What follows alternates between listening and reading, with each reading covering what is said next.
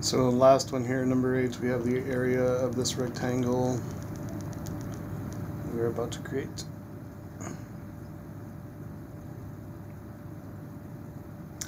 It's going to be 6 times 6.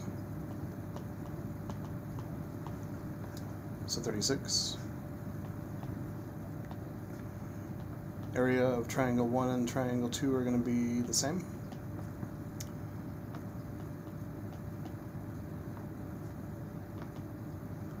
3 by 1, 2, 3, 4, 5, 6. 18 divided by 2 is going to be 9. So area of triangle 2 is congruent, it is also 9. So 36 minus 9 minus 9 leaves us with 18.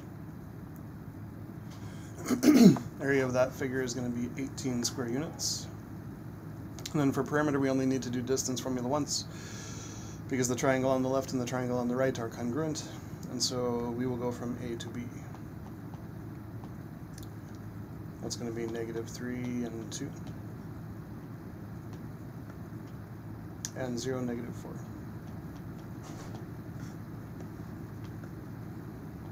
x1, y1, x2, y2.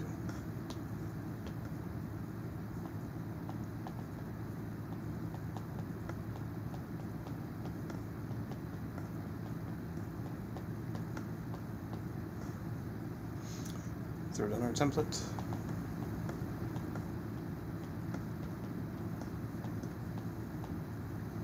Um, x2 minus x1 is 0 minus negative 3. y2 minus y1, negative 4 minus 2. Those two negatives are going to make a plus.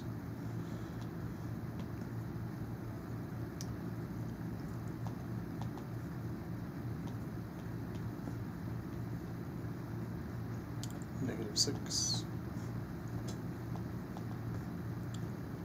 9 plus 36. d squared is 45. Square root both sides.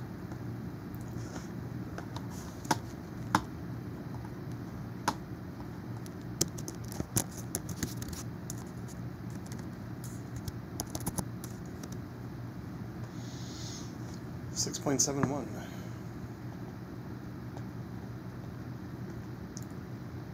And so that's going to be 6.71 on both of those sides. And then 6 across the top.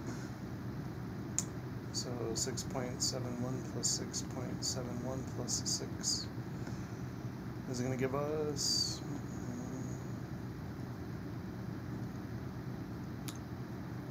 Nineteen point five two for a perimeter. 19 point. 4-2. Not bad. I don't know why I carried a 1 and I just added 1 to 1. Weird, huh?